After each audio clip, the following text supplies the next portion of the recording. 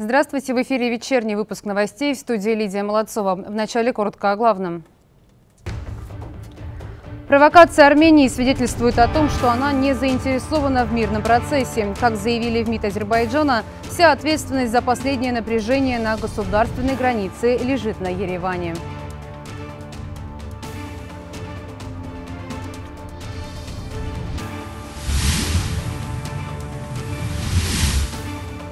Оперативная обстановка в зоне боевых действий на государственной границе с Арменией находится под полным контролем азербайджанских подразделений, заявили в Министерстве обороны Азербайджана. Армянская сторона понесла значительные потери.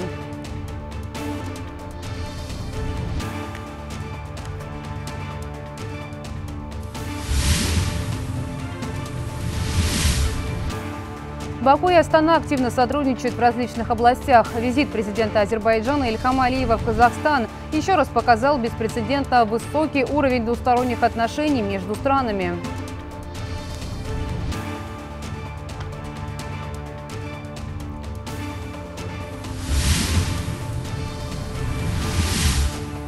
Отношения Анкары и Риада, испортившиеся после убийства в 2018 году саудовского журналиста, начали налаживаться. Между Министерствами иностранных дел двух стран состоялся первый за много лет раунд политических консультаций.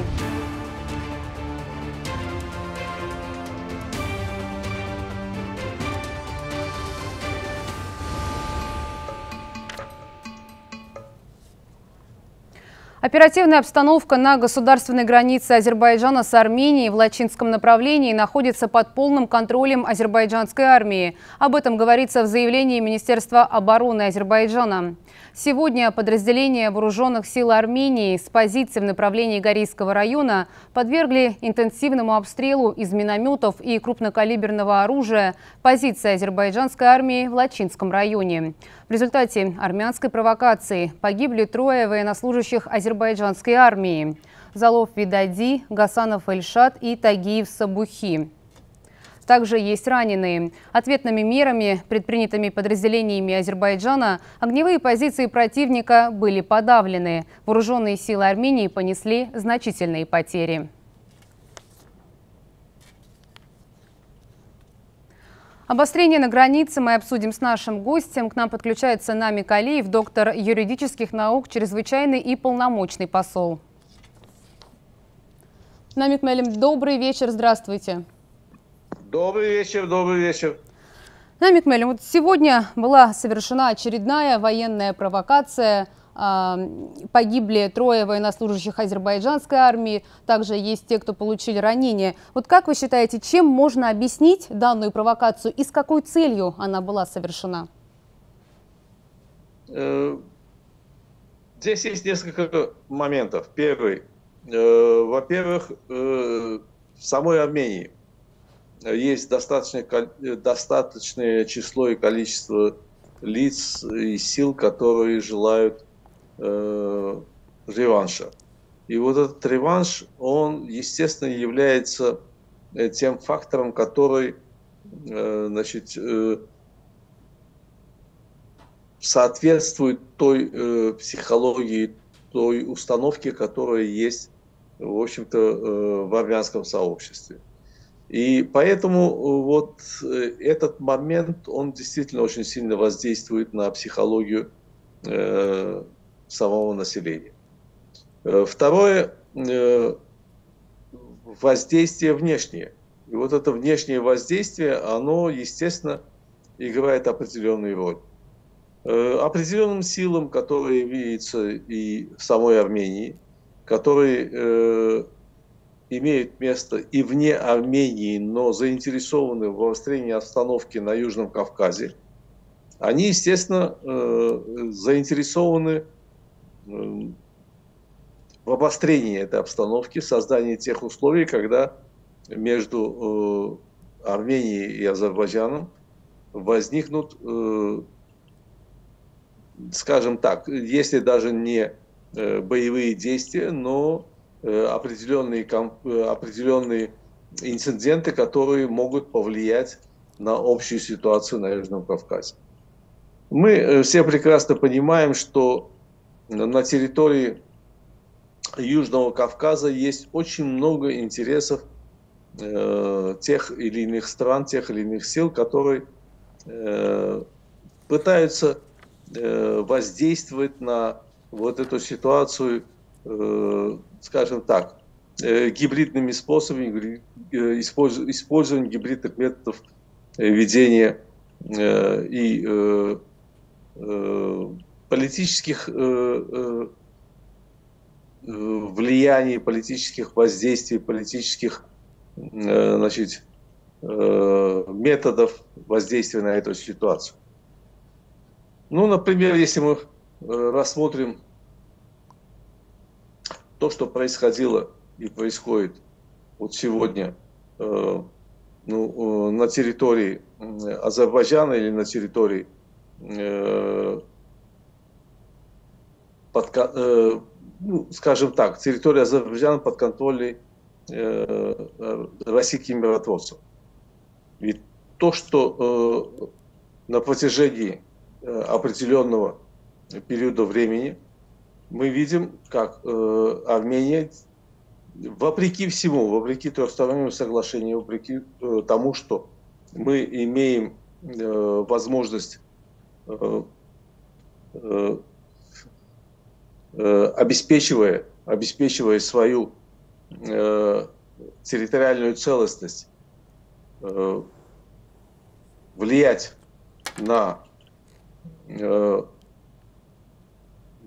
ее целостность, тем не менее, мы сталкивались с тем, что значит, мы сталкивались с тем, что э, определенные силы позволяли провозить на территории Азербайджана э, и э, вооруженные э, и э, э, значит, определенные э,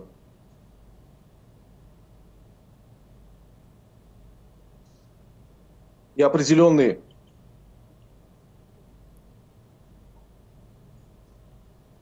Намик Мелин, э. вот то есть получается, что не вторая Карабахская война, вот не сентябрьская провокация, где Азербайджан а, решительно отразил атаку противника, не стали уроком для Армении? Э, ну, понимаете, ведь э, то, что происходило э, во время э, Карабахской войны, все это было, э, был процесс восстановления территориальной целостности Азербайджана.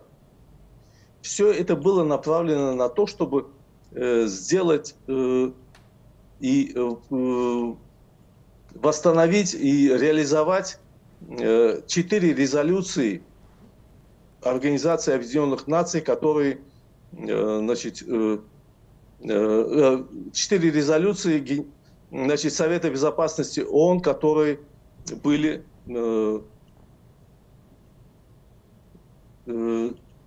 тем, что должно было быть реализовано Минской группой, тем, что должно было быть реализовано э, э, теми посредниками, которые на протяжении всех этих э, лет пытались э, якобы э, восстановить территориальную целостность Азербайджана.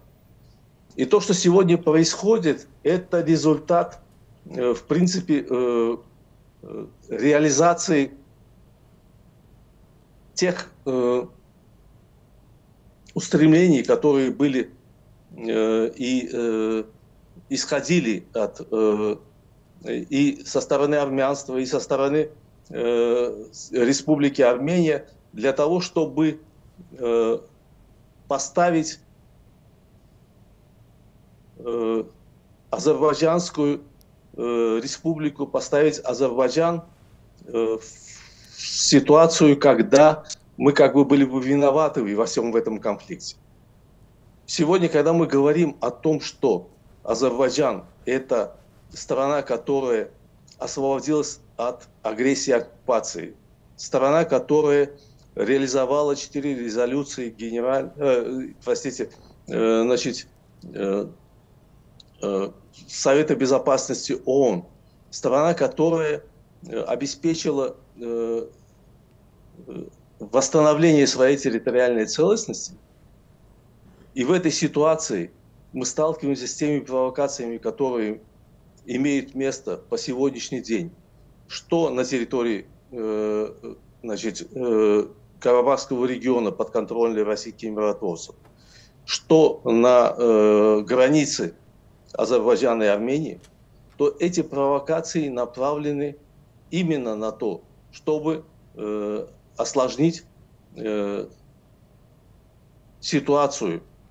э, которая направлена к миру. Ведь когда мы говорим о том, что Азербайджан э, предлагает э, реализацию и ускоренное развитие мирного процесса, когда Азербайджан выдвинул пять принципов подписания мирного договора, когда Азербайджан предлагает э, значит, установление, э, э, предлагает работу по делимитации, демаркации границ. Что это такое? Это стремление к миру это предложение мира. Это предложение мира тем, кто на протяжении 30 лет оккупировал наши территории.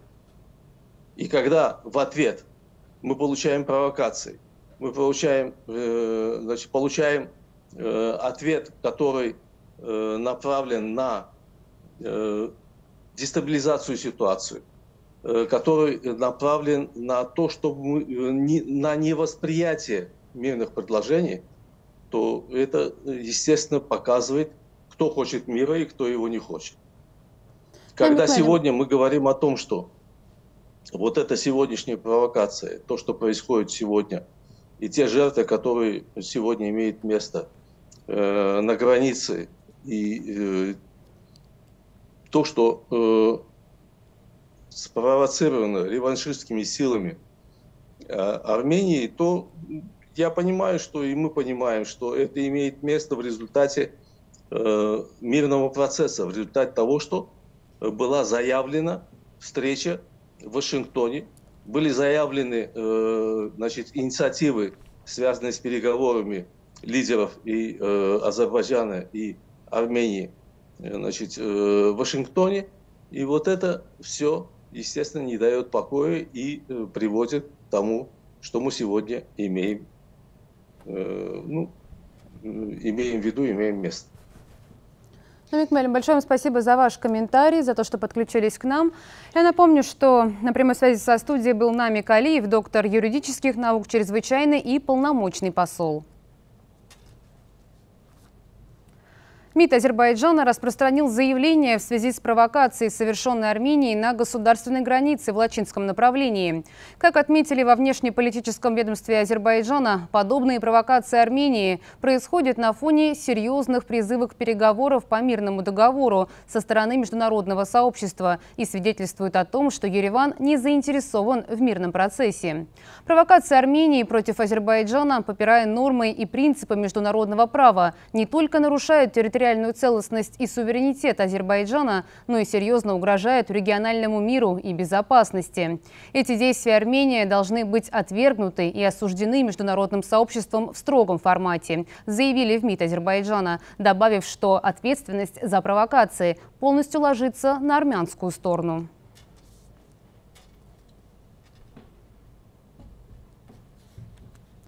Сейчас к нам подключается Ниджат Гаджиев, главный редактор информационно-аналитического портала «Обозреватель». С ним мы продолжим говорить на, на тему обострения ситуации на границе. Ниджат Мелим, добрый вечер. Здравствуйте.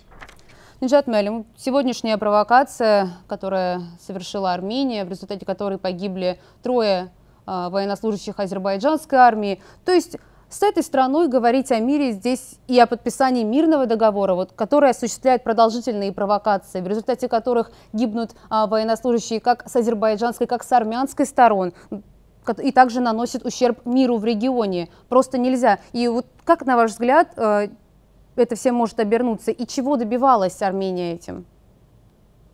Ну, на самом деле сейчас армянская сторона чувствует себя определенно комфортно из-за, в первую очередь, европейской миссии, которая находится сейчас на территории Армении в приграничной зоне.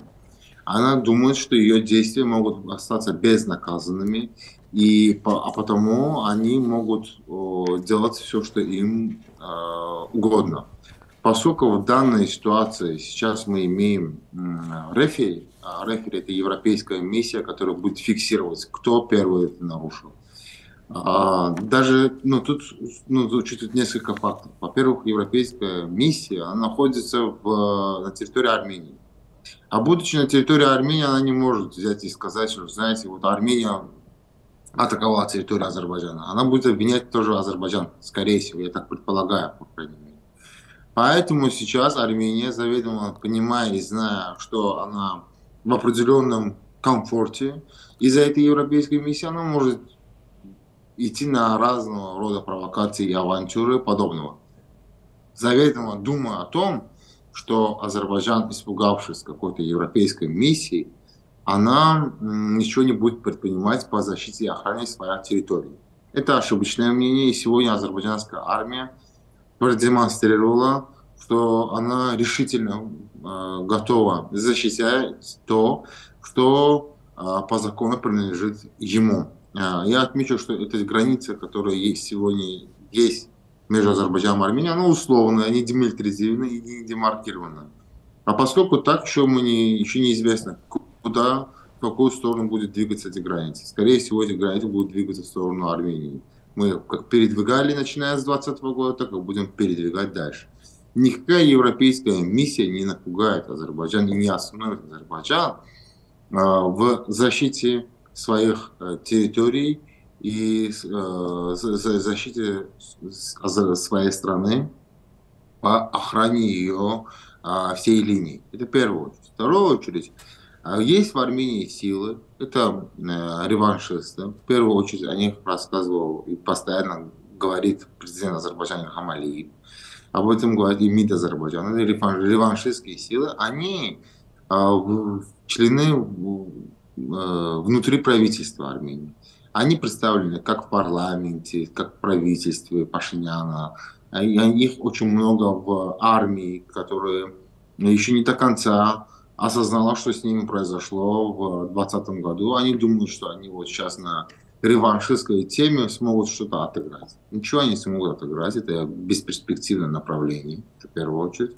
А второе, эти силы, они против того, чтобы был подписан мирное соглашение. Вот давайте подойдем к теме вот так. Вот сегодняшняя провокация.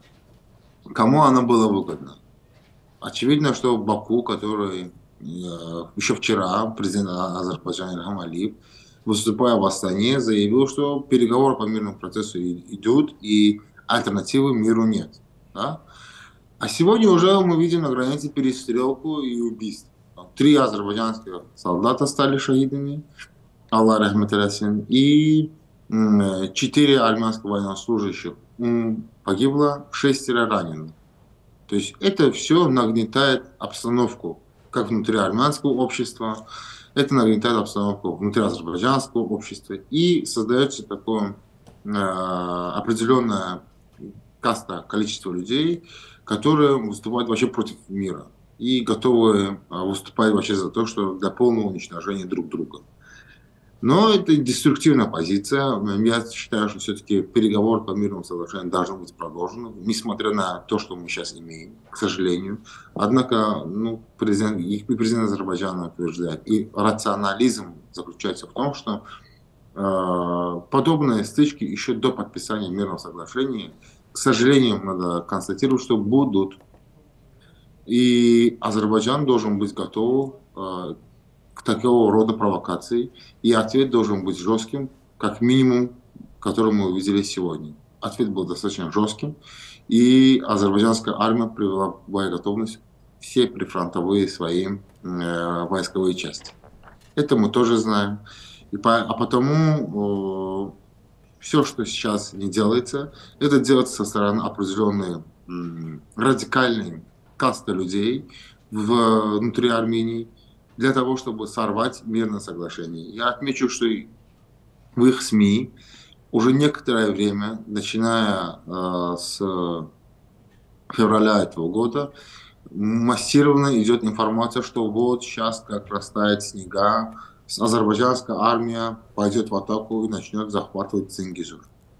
Это парадигма в армянском медийном обществе, в их телеграм-каналах и так в информационном поле, э, в частности, среди экспертов, очень популярна, и они на этом устраивают концепцию своего реваншизма.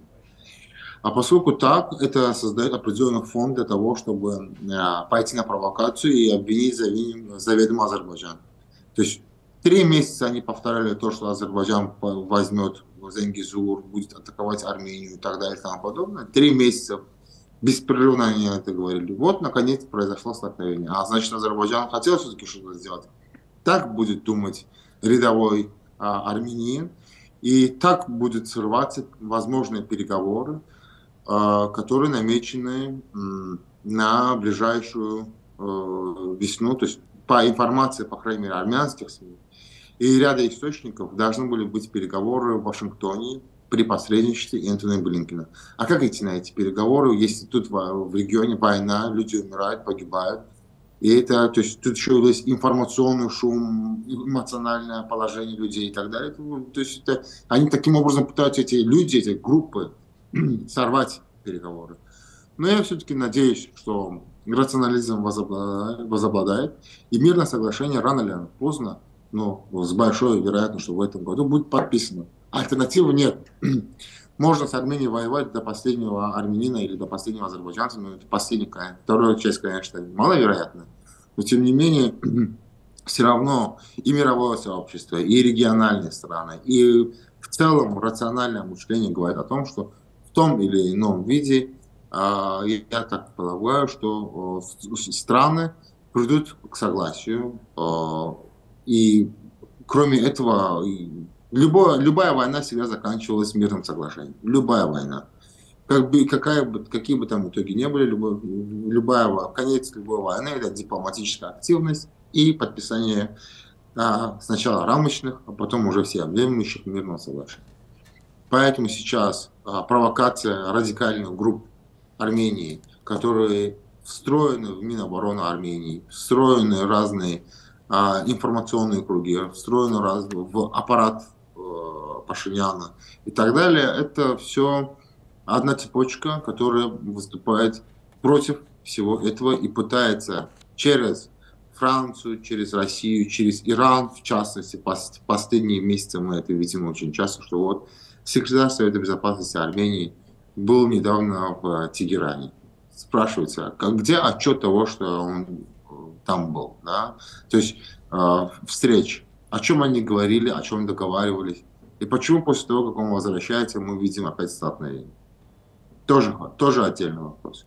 То есть это есть, есть э, группы, заинтересованные группы в регионе. Это отдельные группы внутри Ирана, отдельные группы внутри Армении, отдельные группы в, где-то э, в Минобороне России, Э, отдельную группу в Европе, а точнее в Европе это понятно, кто выступает все-таки больше Франция, за радикализм и дестабилизацию в регионе. А, поэтому сейчас Азербайджану и Армении будет сложно подписывать мирное соглашение, но мы должны пройти этот сложный путь. Другого у нас просто варианта нет. Ничат Мелим, сейчас активно в иранских СМИ появляется такая информация о том, что беспилотники КСИР вылетели в сторону северо-западной границы для выполнения а, разведывательных задач. Вот в том числе армейские силы Ирана были приведены в боевую готовность, да, то есть э, на границе Армении и Азербайджана. Но при этом Армения опровергает факт применения иранских беспилотников. Вот на ваш взгляд, учитывая дружбу Еревана и Тегерана, вот Насколько иранская сторона может быть вовлечена в данный процесс? Она, она может быть, не то, что может быть вовлечена, она вовлечена в этот процесс. Напрямую она вовлечена. И я вам даже скажу больше, после окончания Второй Карабахской войны, после того, как а, а эта война, она показала ряд а, преимуществ Азербайджана, и кроме того, мы увидели, как поменялась концепция ведения войны. То есть Азербайджан вел войну новым поколением, новыми средствами и новым вооружением. И беспилотники показали свою эффективность. А поскольку Иран при всем том, что как бы к ней не относиться, но она специализировала свою э, ВПК в сторону крылатых ракет и э, беспилотников, это шахиды 136, которые сейчас поставляются России, чтобы они бомбили в, в Украину, это всего лишь э, один из видов иранских беспилотников. Есть множество беспилотников. Насколько я знаю, у них есть 18 наименований беспилотников разного характера, разного калибра, разной а, тактических способностей. И вот в 2021 году это был момент, когда еще все поняли, что а, одну из ключевых роль успеха азербайджанской армии сыграли беспилотники Байрактары и израильское производство Харопы. А Армения активно начала в кредит закупать у Ирана э, беспилотники. В некоторых случаях Иран сам поставлял свои беспилотники и обучал и, и, армянских операторов для того, чтобы они могли пользоваться этой техникой. А для того, чтобы привести армянскую армию хоть в какой-то баланс в соотношении с Азербайджаном. Другого момента, что они не смогли привести в баланс.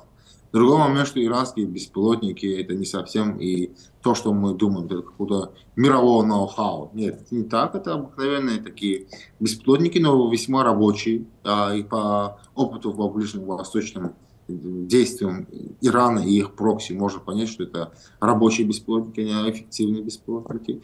И Иран активно этими беспилотниками делился с Арменией в 2021 году. Сейчас 20, 23 э, год, наверное, армянские военнослужащие э, освоили э, эту, эту технику, научились чем-то. Да, они отрицают. Они отрицают по одной единственной причине, поскольку Иран сейчас подсанкционная страна, ведет переговоры с США, ведет переговоры с европейскими странами, пытается показать себя, что вот она а, пацифистская страна, а не милитаристская, что она всегда за стабилизацию, за созидательную политику и так далее и тому подобное. То есть это, это все маркеры, этикет, который она продает, пытается продать мировому сообществу, что вот она вся такая белая, пушистая, и весь мир все-таки против нее почему-то.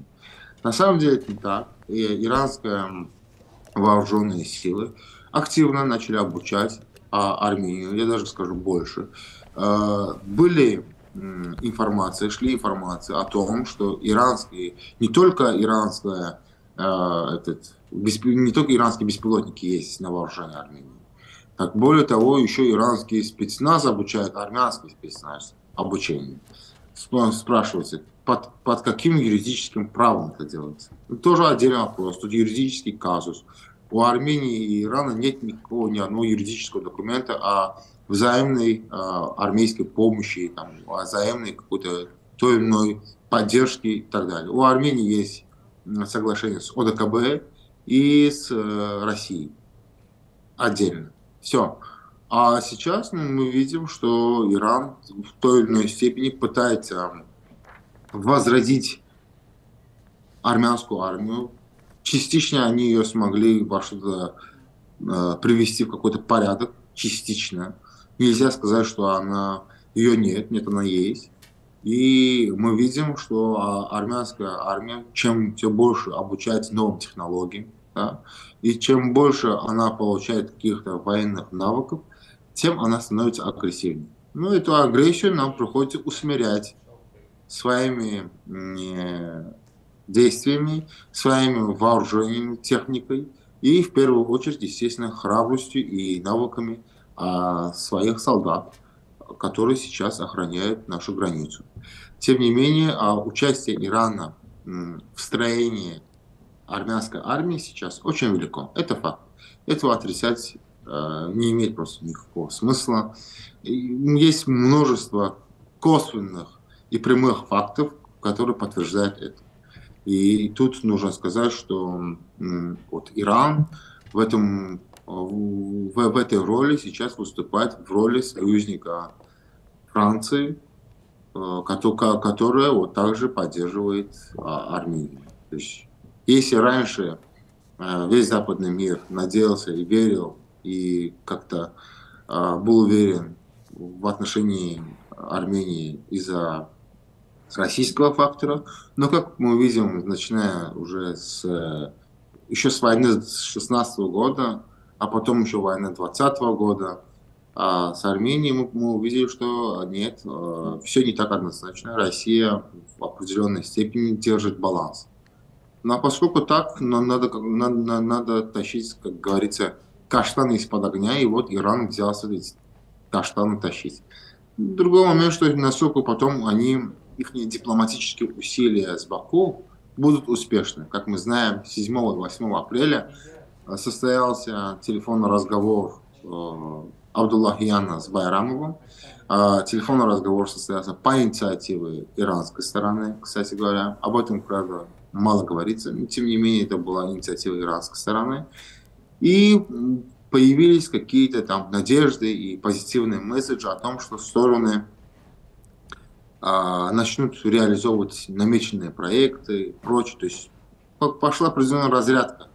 А вот сейчас мы опять видим, что эту разрядку есть силы и группы, будь то внутри Ирана или внутри Армении, а которые против этой разрядки. Кстати, я вот еще такой момент отмечу, что не, не, не случайно, что это э, столкновение произошло вот у нас самая протяженная граница Азербайджана э, со всеми соседями, это Армения, да.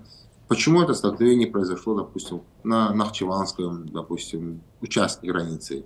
не в Газахе, не в Тоозе, не в других местах, да, а именно э, в южной части, в лачинской части, э, в Зенгизуре. А область, они называют в Армении, это область, Сюникская область, это Зенгизур. Почему именно там?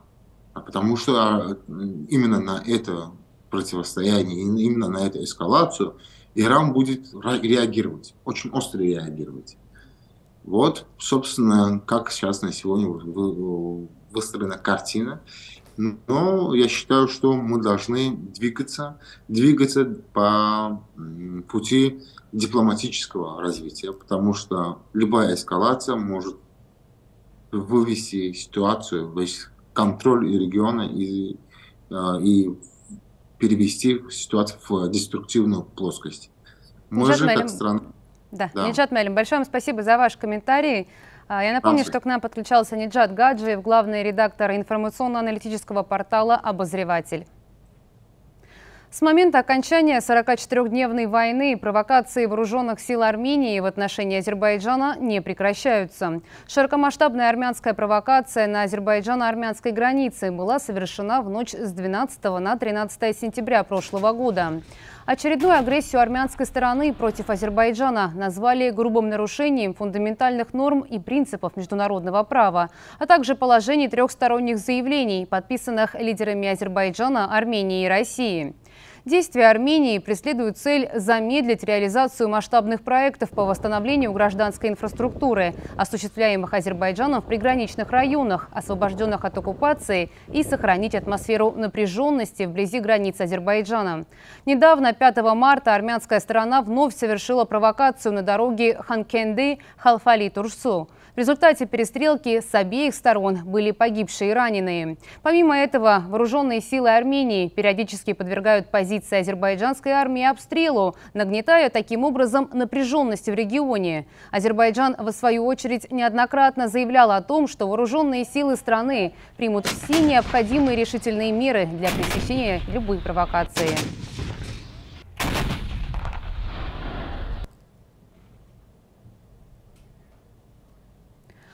О ситуации на границе подробнее расскажет мой коллега Шамистан Мамедов. Шамистан, здравствуй. Здравствуй, Лидия. Провокация армянской армии на Лачинском направлении государственной границы была заранее спланирована. На это указывают многочисленные факты, в том числе присутствие командира специального корпуса вооруженных сил Армении на месте боевых действий. К слову, он получил тяжелое ранение. Обычно командирский состав привлекают к выполнению подобных спланированных операций. Но армянская сторона уже попыталась придумать свою версию событий и по традиции перевернуло все с ног на голову. Утверждается, что упомянутый командир корпуса якобы отправился на переговоры с азербайджанской стороной. Мол, надо было обговорить расположение позиции. Но эта версия действительно э, не выдерживает никакой критики. Подобные переговоры между сторонами ранее всегда анонсировались. Прежде новостные ленты армянских СМИ пестрили яркими заголовками о планируемых встречах. Для армян азербайджанского урегулирования предпринимаются все возможные шаги, однако подобные провокации наносят урон мирным усилиям. В то время как Запад активизирует свои усилия в решении вопроса, противостояние на Азербайджано-армянской госгранице не является случайностью. Мы видим, что есть силы, не заинтересованные в мире. Uh, Циничные вооруженные нападения, совершенные армянским режимом против вооруженных сил Азербайджана, являются ярким нарушением международного права. Это становится причиной эскалации на Южном Кавказе. Международное сообщество должно предпринять незамедлительные меры для того, чтобы предотвратить подобные действия Армении. Мы видим, что оно остается в стороне. Сегодняшние действия говорят о том, что Армения не хочет быть вовлечена в переговоры и достижение продолжительного мира вместе с Азербайджаном. Инцидент, по сообщениям СМИ, начался с того, что группа армянских военных приблизилась вплотную к азербайджанским позициям в ответ на предупреждение со стороны военных Азербайджана с требованием отойти. Армянская сторона открыла интенсивный огонь. После этого завязался интенсивный бой. А, Все в лучших традициях Армении – спровоцировать, а потом жаловаться всем подряд, строя из себя жертву. И в этот раз к образу невидимого невинной овечки Армения подготовилась заранее. Уже несколько недель в армянских СМИ то и дело тиражировались материалы о так называемых планах Азербайджана напасть на Армению. Официальные лица этой страны в последнее время на всевозможных международных площадках нагло говорили, что якобы это Азербайджан готовит эскалацию. Таким образом, армянская сторона попыталась полностью смести следы за напряженную ситуацию. На почве но почва для совершения новой армянской провокации оказалась некачественной. Оперативная ситуация была и остается под контролем вооруженных сил Азербайджана. Провокация Еревана стала очередным фиаско армянского руководства. Все границы Азербайджана находятся в надежных руках. Несмотря на продолжительные мирные призывы Азербайджана, армянские провокации не прекращаются. Высказывания, направленные против Азербайджана, провокационные заявления, говорят о том, что Армения готовится к новой войне. Интересна последовательность этих действий. Ранее Армения давала позитивные месседжи по поводу мирного договора. После того, как на нее стала действовать шпионская сеть Франции под видом миссии Евросоюза, ситуация стала накаляться. Очевидно, что страна-агрессор Армения видит э, поддержку в лице Евросоюза. Похоже, Ереван воспринял миссию ЕС в приграничных с Азербайджаном районах в качестве вседозволенности и безнаказанности. Вооруженные силы Армении после приезда в регион так называемых наблюдателей стали все чаще прибегать к военным провокациям против Азербайджана. Сегодняшний случай тому еще один пример. В свою очередь, э, пообещавший, пообещавший следить за порядком, Европейский Союз вместо осуждения действий Армении только поощряет ее деструктивную деятельность. А, по мнению экспертов, Евросоюз будет и дальше закрывать глаза на подобные действия Армении, так как Ереван и группа европейских наблюдателей снабжают Запад разведывательной информацией о деятельности России и Ирана в регионе. Это еще раз показало и доказало, насколько военно-политическое руководство Армении далеко от повестки мира, и ответственность за рост напряженности в регионе, конечно же, несет только Ереван, но э, несет не только Ереван, но и покровительствующие ему страны. Армения сейчас не готова к полномасштабной войне, а к провокации очень даже готова. Те наблюдатели, которые находятся сейчас э, на границе, европейские наблюдатели, они хотят армяне им показать, э, что наоборот, их тем самым расположить к себе, показывая, что вот как Азербайджан не прав, а, как он себя ведет, чтобы а, показать, что Армения маленький беззащитный народ, который очень нуждается в их поддержке. С помощью таких провокаций они хотят показать для них, что это был инициатором Азербайджан. А, также интересно тот факт, что э, интерпретацию всех этих событий вещает министр обороны Армении, который именно сейчас находится в штаб-квартире НАТО в Брюсселе и прямо оттуда дает комментарии. То есть управление всем этим процессом как раз-таки мы можем предположить происходит из штаб-квартиры НАТО. Особое внимание привлекает и техника, которую сегодня задействовала Армения. По сообщениям СМИ, армянская сторона использовала артиллерию и беспилотники. Позже вблизи границы было зафиксировано скопление живой силы и тяжелой техники Армении в Лачинском направлении. Видимо, Ереван действительно готовился к серьезной военной операции, но, встретив жесткое сопротивление, одумался. Что же армянская сторона получила в итоге? В сети появились новые кадры того, как армянские солдаты бросают посты в направлении села Дык. Кажется, скоро у первой леди Армении, Анны Акопян, будет новая статистика Карабахской войны. Э, ранее она призналась, что во время Второй Карабахской войны в рядах вооруженных сил Армении наблюдалось масштабное дезертирство. По ее словам, на тот момент более 11 тысяч армянских военнослужащих прибегли к дезертирству. Примечательно, что в последние недели в Армении также проводилась скрытая мобилизация мобилизация. Так называемый сбор резервистов проводится с 1 марта. касается использования оружия, а, купленного у Индии или Ирана, то кардинально ситуацию в военных действиях а, оно не изменит. Оно закуплено не в таких больших количествах. У Армении нет просто денег а, закупать оружие в больших количествах. Она в основном использовала оружие, которое ей дарила Россия а, в Второй Карабахской войне. И сейчас а, она также просто а, будет делать вид, что имеет поддержку от Ирана и Индии. Подобные провокации Армении происходят на фоне серьезных призывов к переговорам по мирному договору. Получается, что Армения не заинтересована в мирном процессе. Об этом говорят и интенсивные закупки Армении вооружений из, из Индии, а также поставки из Ирана, который в антиазербайджанской истерике решил э, еще больше потакать захватнической политике Еревана. К слову, ряд СМИ сообщили, что армянская Украинская сторона использовала закупленную, а по всей вероятности подаренную технику. Речь идет в том числе об иранских дронах. К слову, иранский журналист Реза Аббаси сообщил, что беспилотники Корпуса Стражи Исламской революции уже вылетели к северо-западным границам для проведения так называемых разведывательных полетов. Не исключено, что Никол Пашинян, которого вы сейчас видите на экране, также пытается отвлечь внимание от внутренних проблем в стране. В армянском обществе продолжает требовать отставки премьер-министра Армении. В этот раз его встретили протестами в Айнадзорской области э, страны. Одна из женщин даже попыталась швырнуть зонтик главу армянского правительства. Личной охране премьера удалось предотвратить возможное нападение. Теперь 47-летней жительнице села Малишка грозит до пяти лет лишения свободы. В Следственном комитете страны произошедшее назвали попыткой совершения очевидного насилия в отношении премьер-министра Армении.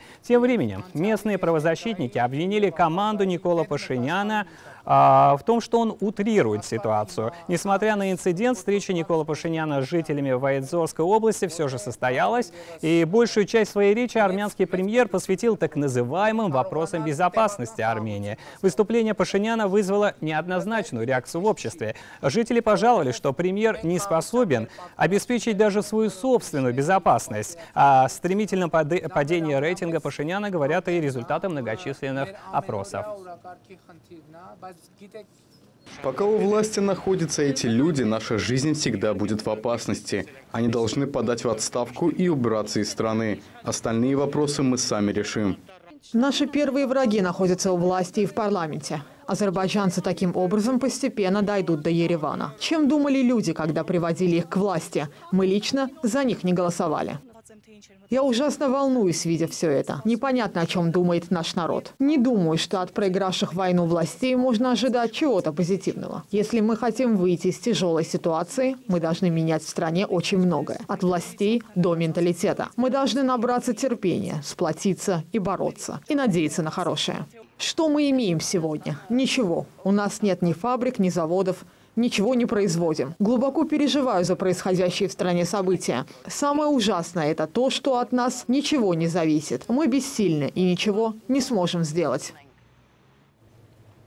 Лидия, также и в СМИ, и в телеграм-каналах мы можем заметить, что э, в ход пошли снова фейки. Армянская сторона распространяет фейковую информацию. Также они пытаются обвинить Азербайджан в использовании беспилотников и другой техники и публикуют, тиражируют фотографии, не соответствующие действительности. Фотографии со времен Второй Карабахской войны. То есть это неудивительно. И вот э, даже их МИД и другие э, ведомства делают такие заявления, где где пытается все перевернуть с ног на голову, обвинить нас в том, что совершает сама Армения. И э, вот э, мы сейчас сталкиваемся с очередным потоком дезинформации от Армении.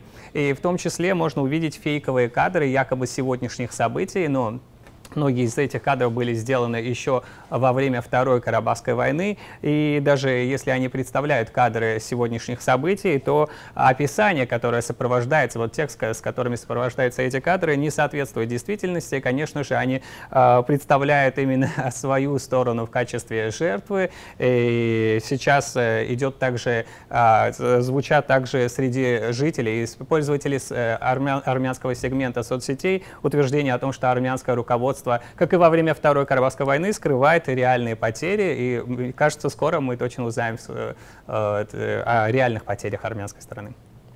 Шамистан, большое тебе спасибо, что ж, Армения не первый раз распро распространяет дезинформацию, чтобы ввести международное сообщество в заблуждение. Я тебя еще раз благодарю. Я напомню, что о ситуации на границе рассказал мой коллега Шамистан Мамедов.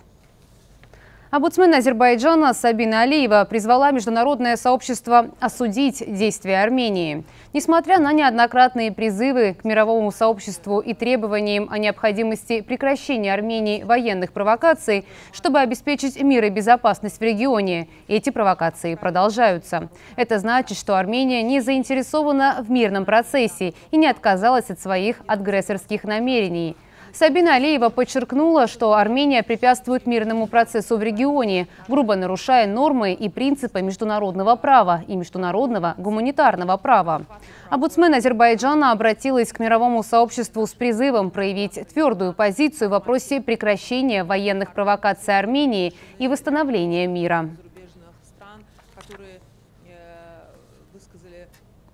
Группа женщин из Западного Азербайджана направила обращение председателю Еврокомиссии Урсуле фон дер Ляйен, в котором подробно рассказывается об этнических чистках и других преступлениях против человечности, совершенных Арменией. Подчеркивается, что целью общины Западного Азербайджана является защита прав азербайджанцев, вынужденно покинувших свои дома в Армении. В результате тотальной этнической чистки, проведенной Арменией против азербайджанцев, в этой стране не осталось ни одного азербайджанца, и это оказало пагубное воздействие на общину и причинило особенно большие страдания азербайджанским женщинам. Как говорится в письме, адресованном председателю Еврокомиссии, вопрос безопасного и достойного возвращения, реабилитации и реинтеграции изгнанных из Армении азербайджанцев должен находиться в центре дипломатических усилий по нормализации отношений между Баку и Ереваном.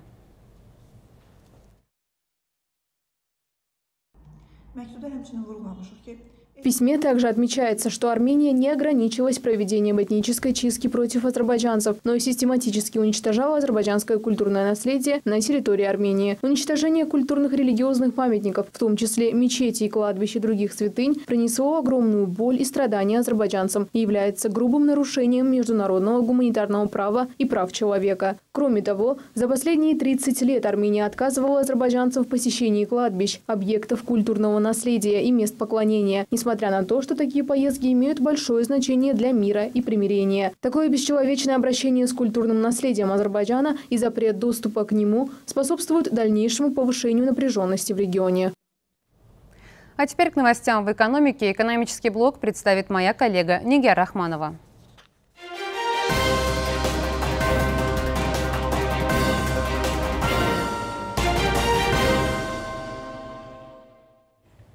Увеличение добычи Азербайджаном углеводородов э, прямо зависит от уровня технической базы нефтегазодобывающей инфраструктуры. На днях э, была отправлена в море конструкция платформы Центральной и Восточной Азерии. А сегодня в эксплуатацию сдан первый в Азербайджане стационарный морской платформенный кран.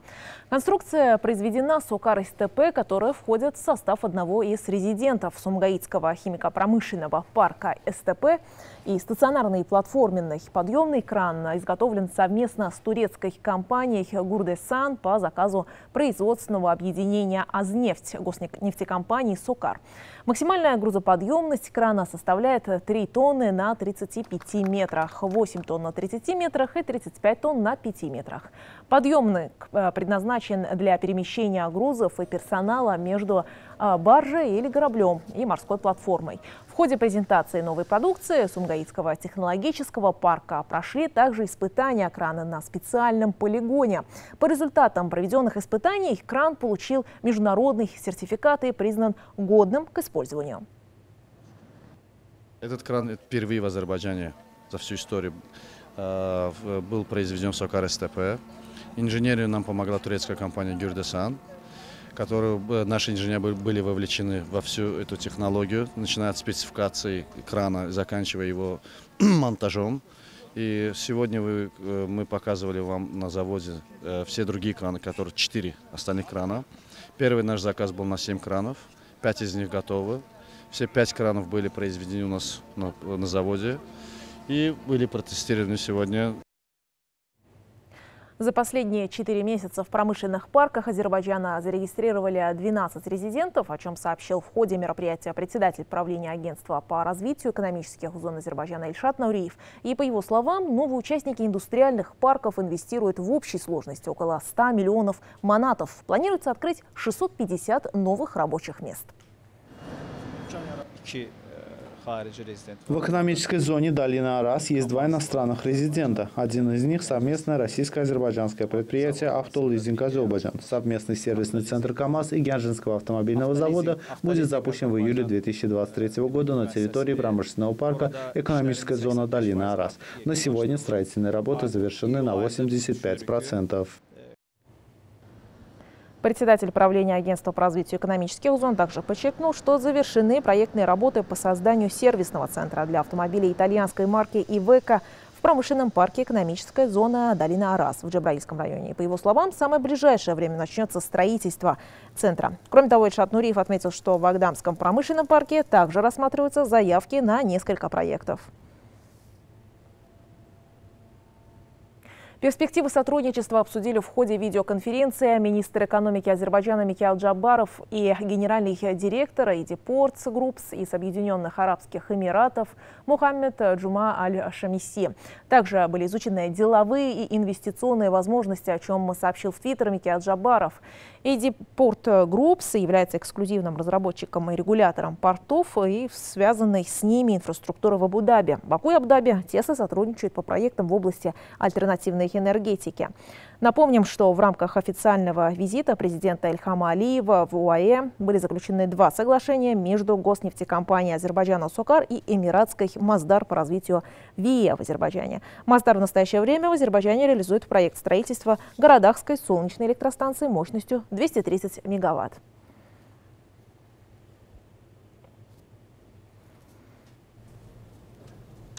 На этом экономическая рубрика подошла к концу. Лидия. Спасибо, Нигер. Я напомню, что экономический блок представила моя коллега Нигер Рахманова. Это были все новости на сегодня. Далее на CBC смотрите аналитическую передачу «Это важно». До встречи.